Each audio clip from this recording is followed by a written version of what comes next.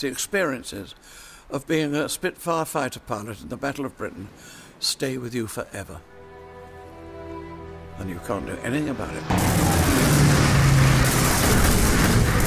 Ready for this? Let's report for ops at first light. We fought at first light, high noon, evening, dusk.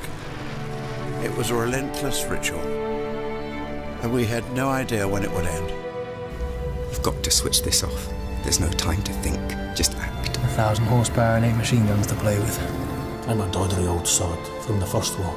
Pray that this one doesn't last as long, eh? I hear Germany's very pretty this time of year. How do you start it again?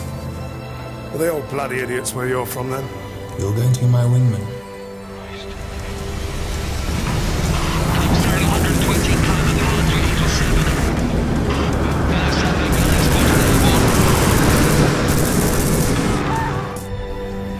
Well. But it's over.